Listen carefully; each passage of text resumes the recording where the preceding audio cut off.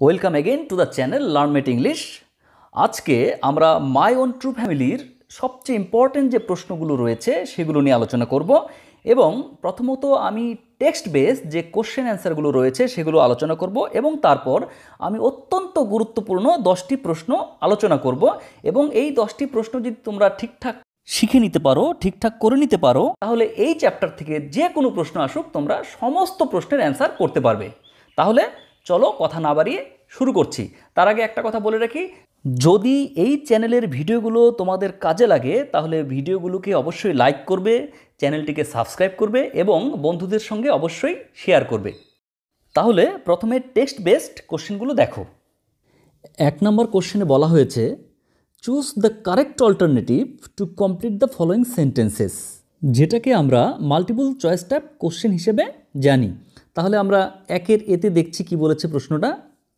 Creeping in an oakwood the poet was looking for a চারটা option রয়েছে goat rhinoceros stag and buffalo অর্থাৎ যখন poet ওকুডে প্রবেশ করল, সেই ওক গাছের বনের ভিতরে প্রবেশ করল, তখন সে কি খুঁজছিল? আমরা উত্তরটা জানি যে কবি ওকুডের ভিতরে একটা স্ট্যাক খুঁজতে গিয়েছিল। আমরা বইয়ের লাইনে উত্তরটা একবার দেখিনি একদম ফার্স্ট লাইনে দেখো উত্তরটা রয়েছে। Once I crept in an oakwood I was looking for a stag তাহলে অ্যান্সারটা হবে স্ট্যাগ কবি একটা পুরুষ হরিণ, অর্থাৎ একটা স্ট্যাগ খুঁজছিল। He was looking for a stag এবার B number whenever an oak tree is felled the number of trees the poet must plant is two three four five যখনই একটা গাছ কাটা হবে, কবিকে প্রমিস করতে হবে, সে তার কটা গাছ লাগাতে হবে। উত্তরটা হবে টু মানে দুটো গাছ লাগাতে হবে।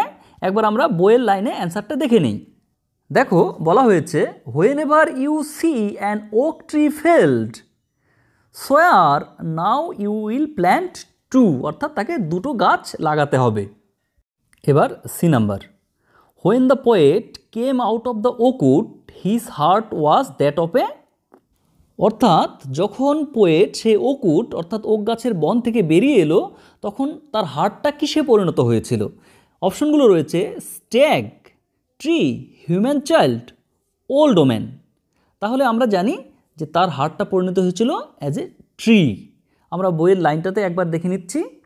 বলছে যে my walk was the walk of a human child আমার ওয়াকটা ছিল হিউম্যান চাইল্ডের মতো but my heart was a tree মানে my heart has been transformed into a tree এবার question number two state whether the following statements are true or false provide sentences or phrases or words in support of your answer A নাম্বারে বলেছে the old woman held the poet secrets in her little bag অর্থাৎ old ওমেনের সেই বৃদ্ধা মহিলার ছোট্ট ব্যাগটার মধ্যে কবির গোপন তথ্য, অর্থাৎ সিক্রেটস রয়েছে। তাহলে পোয়েমটা লক্ষ্য করো পোয়েমটার একদম থার্ড লাইনে রয়েছে she said I have your secret here inside my little bag অর্থাৎ আমার এই ছোট ব্যাগের মধ্যে তোমার সিক্রেট রয়েছে। তার মানে অ্যান্সারটা হবে ট্রু অর্থাৎ সত্যি। তাহলে সাপোর্টিং সেন্টেন্সটা কী লিখব? সাপোর্টিং সেন্টেন্স একদম এই তিন নম্বর লাইনটা হুবহু তুলে দিব, তাহলেই অ্যান্সারটা হয়ে যাবে। যে she said I have your secret here inside my little bag এবার B number. The tree tribe said that the poet is bothered to see the chopping down of oak trees সেই ওক গাছকে chopping down অর্থাৎ যে কুটি কুটি করে কাটা হচ্ছে, সেটা দেখে কবি বিরক্ত হয়েছিল, কষ্ট পেয়েছিল। আমরা কবিতাটার একদম থার্ড প্যারার সেকেন্ড লাইনে চলে যাব। দেখো, ওখানে বলেছে we are chopped down we are torn up you do not blink an eye আমাদের কুচি কুচি করে কাটা হচ্ছে, আমাদের টুকরো টুকরো করা হচ্ছে, কিন্তু তুমি তোমার চোখের একটা পলকও ফেলছো না। অর্থাৎ তোমার মধ্যে কোনো অনুশোচনা হচ্ছে না। তাহলে এখানে বলেছে, কবি বদার্ট হয়েছিল, কবি কষ্ট পেয়েছিল, কবি বিরক্ত হয়েছিল। তাহলে কবি কিন্তু সেটা হয়নি। তাহলে অ্যান্সারটা হবে ফলস এবং সাপোর্টিং সেন্টেন্সও কিন্তু এই লাইনটাই হবে। Third প্যারার second line we are chopped down we are torn up you do not blink can I এবার C number the poet never came out of the oakwood কবি ওক গাছের বন থেকে আর বের হয়ে আসেনি। কিন্তু কবি ওক গাছের বন থেকে বের হয়ে এসেছিলেন। একদম লাস্ট প্যারার লাস্ট লাইনের আগের লাইনটা দেখো। বলেছে when I came out of the oakwood back to human company অর্থাৎ যখন আমি ওক গাছের বন থেকে বের হয়ে এলাম, কোথায় এলাম? ব্যাক টু হিউম্যান কোম্পানি আবার মানব সমাজের মধ্যে ফিরে এলাম। তাহলে এই লাইনটা থেকে বোঝা যাচ্ছে যে কবি আবার মানব সমাজে ফিরে এসেছিলেন ওক গাছের বন থেকে। তাহলে অ্যান্সারটা হবে ফলস। এবং সাপোর্টিং সেন্টেন্সও এই লাইনটাই হবে, অর্থাৎ লাস্ট প্যারার, লাস্ট লাইনের আগের লাইনটা। এবার তিন number. Answer the following questions. নিচের প্রশ্নগুলোর উত্তর দাও।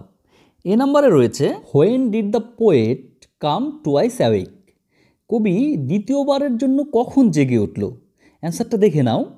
When the old man opened up her little bag the poet came twice awake অর্থাৎ যখন সেই বৃদ্ধা মহিলাটা তার ছোট্ট ব্যাগটা খুলল, তখন কবি দ্বিতীয়বারের জন্যে জেগে উঠল। এবার বি নাম্বার প্রশ্নটা দেখো। What would happen to the poet if he failed to make the promise? অর্থাৎ কবি যদি প্রমিসটা করতে ব্যর্থ হয়, তবে কবির সঙ্গে কি করা হবে? তাহলে অ্যান্সারটা দেখে নাও। তাহলে অ্যান্সারটা কি হবে? If the poet failed to make the promise, the black oak bark would wrinkle over him and root him among the oaks. অর্থাৎ কবি যদি প্রতিজ্ঞাটা করতে প্রমিসটা করতে ব্যর্থ হয়, তাহলে সেই কালো black oak bark will wrinkle over the poet. তাকে কবিকে পিষে দেবে। আর কি করবে? সেই ওক গাছের মধ্যেই তাকে পুঁতে ফেলা হবে। C number question. What was it that altered the poet? কোন জিনিসটা কবিকে বদলে দিয়েছিল? আমরা যখন কবিতাটা পড়েছিলাম, তখন আমরা উত্তরটা দেখেছিলাম। যে কবি ওক গাছের নিচে যে স্বপ্নটা দেখেছিল, সেটা তাকে বদলে দিয়েছিল। তাহলে অ্যান্সারটা যখন লিখব, তখন কি লিখব? তখন অ্যান্সারটা লিখব the dream that the poet had dreamed under the boughs of the oak trees altered the poet এখন আমরা আরও কিছু প্রশ্ন এই চ্যাপ্টার থেকে দেখব। যে প্রশ্নগুলো পড়লে ঠিকঠাক মতো জানা থাকলে তাহলে এই চ্যাপ্টার থেকে অন্য যে কোনো প্রশ্ন আসুক, সেটা মাল্টিপুল চয়েস টাইপ কোশ্চেন হোক ট্রু ফলস হোক, অথবা শর্ট অ্যান্সার টাইপ কোশ্চেন হোক, অথবা যে কোনো প্রশ্ন হোক, তোমরা পরীক্ষাতে সব অ্যাটেন্ড করতে পারবে। এই প্রশ্নগুলো খুব প্রয়োজনীয়, ভালো করে দেখে নাও। যদি এই প্রশ্নগুলো ঠিকঠাক করা থাকে, এই চ্যাপ্টার থেকে যে কোনো প্রশ্ন আসুক, তোমরা অ্যান্সার করতে পারবে। প্রথম প্রশ্ন why did the poet crept in an oakwood কবি কেন সেই ওক গাছের বনে প্রবেশ করেছিল? অ্যান্সারটা হবে the poet crept in an oakwood in search of a stag কবি ওক গাছের বনে প্রবেশ করেছিল একটা পুরুষ হরিণের খোঁজে। এবার question number two with whom did the poet meet in the oakwood সেই ওক গাছের বনে কবির কার সঙ্গে দেখা হলো? অ্যান্সারটা হবে the poet met with an old woman in the oakwood সেই গাছের বনে কবির একটা বৃদ্ধা মহিলার সঙ্গে দেখা হয়েছিল। এবার কোশ্চেন নং three how did the old woman look বৃদ্ধা মহিলাটি দেখতে কেমন ছিল? অ্যান্সারটি হবে the old woman was dressed in a worn out rag and she was holding a knobbly stick অর্থাৎ বৃদ্ধা মহিলাটি একটি জীর্ণ পোশাক পরিহিত অবস্থায় ছিল এবং তার হাতে ছিল একটা থুরথুরে লাঠি। এবার চার নম্বর প্রশ্ন। What did she say? অর্থাৎ সেই বৃদ্ধা মহিলাটি পোয়েটকে কি বলেছিল? অ্যান্সারটি হবে she said that she had the secret of the poet inside her little bag অর্থাৎ সেই বৃদ্ধা মহিলাটির ছোট্ট ব্যাগের মধ্যে কবির সিক্রেট অর্থাৎ গোপন ব্যাপারটি রয়েছে। এবার কোশ্চেন নং five what did the poet see when the poet came twice awake? অর্থাৎ কবি যখন দ্বিতীয়বারের জন্য জেগে উঠল, তখন সে কি দেখল? অ্যান্সারটা হবে, he saw that he was surrounded by a tribe who were staring at him and he was tied to a stake. অর্থাৎ কবি দেখল যে সে একদল আদিম জনজাতি দ্বারা ঘিরে আছে এবং তাকে একটা খুঁটির সঙ্গে বেঁধে রাখা হয়েছে। এবার কোশ্চেন নং six what did they say অর্থাৎ সেই আদিম জনজাতি, সেই ট্রাইব তারা কবিকে কি বলেছিল? They said that they were the oak trees and the true family of the poet and they accused the poet that they were chopped down they were torn up but the poet didn't blink an eye so they force the poet to make a promise otherwise he would be dead অর্থাৎ তারা, অর্থাৎ সেই steering tribe সেই আদিম জনজাতি যারা তাকিয়েছিল তারা বলল যে তারা হচ্ছে ওক গাছ এবং তারা হচ্ছে কবির সত্যিকারের বন্ধু। তারা কবির বিরুদ্ধে অভিযোগ আনে যে তাদেরকে কাটা হচ্ছে, অর্থাৎ সেই গাছগুলোকে কাটা হচ্ছে, তাদের কুচি কুচি করা হচ্ছে, কিন্তু কবি তার চোখের একটা পাতাও ফেলছেন না। অর্থাৎ কবি কোনো রকম প্রতিবাদ করছে না। তাই তাকে একটা প্রমিস করতে হবে।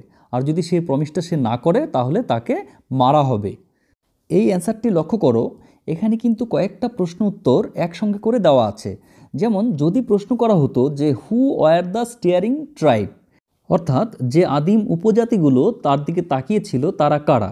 তাহলে উত্তরটা হবে they were the oak trees আবার, যদি প্রশ্ন হয় যে why did they accuse the poet তখন এর উত্তরটা হবে they accused the poet that they were chopped down they were torn up but the poet didn't blink an eye অর্থাৎ তাদেরকে কাটা হচ্ছে, তাদেরকে টুকরো টুকরো করা হচ্ছে, কিন্তু কবি কোনো রকম প্রতিবাদ করছে না। তাহলে এটা হবে এটার অ্যান্সারটা। আবার যদি প্রশ্ন হয়, what would happen if the poet fails to make a promise? তাহলে এর অ্যান্সারটা কী হবে? অ্যান্সারটা হবে, the poet would be dead. তাকে মেরে ফেলা হবে। যদি কবি প্রতিজ্ঞাটা করতে ব্যর্থ হয়, তাহলে তাকে মেরে ফেলা হবে। কোশ্চেন নং seven, what was the promise? প্রমিসটা কী ছিল? অর্থাৎ প্রতিজ্ঞাটা কী ছিল? অ্যান্সারটা হবে the promise was that whenever the poet would see an oak tree felled he would plant two অর্থাৎ, যখনই কবি দেখবে যে একটা গাছ কাটা হচ্ছে, তখন তাকে দুটো গাছ লাগাতে হবে। এটাই ছিল তার প্রমিস অর্থাৎ এটাই ছিল তার প্রতিজ্ঞা।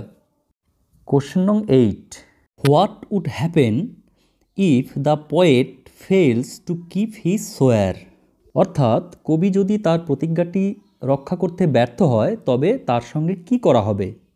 অ্যান্সারটি হবে if the poet fails to keep his swear the black oak bark will wrinkle over him অর্থাৎ, যদি কবি তার প্রতিজ্ঞাটি রাখতে ব্যর্থ হয়, তবে ওক গাছের কালো ছাল তাকে কুকড়ে দেবে, তাকে পিষে ফেলবে।